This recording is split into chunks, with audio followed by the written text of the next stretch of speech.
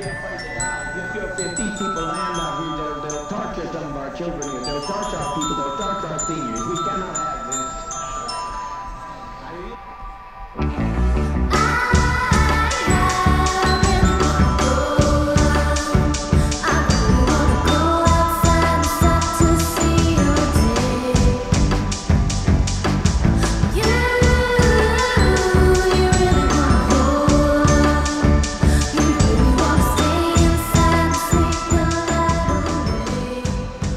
People in Austin are probably the craziest. I mean, they get so much live music, you would expect them to be like, oh God, cults again, or whoever again.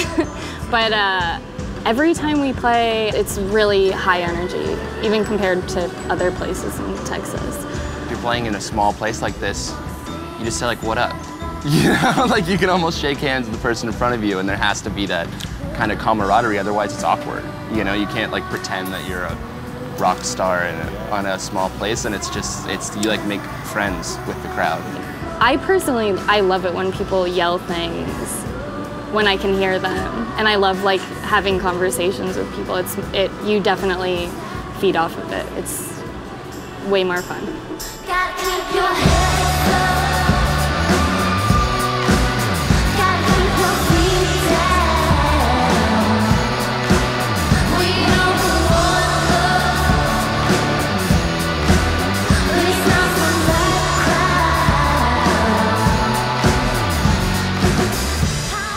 The last record we toured for two years on the, the, record, and so by the time we went into the studio, we had tons of scraps of things. This was a much more streamlined kind of thing. So I think that, you know, for the first time since the very beginning of the band, the writing process for this record is going to be very from scratch, you know, and very one song at a time kind of thing.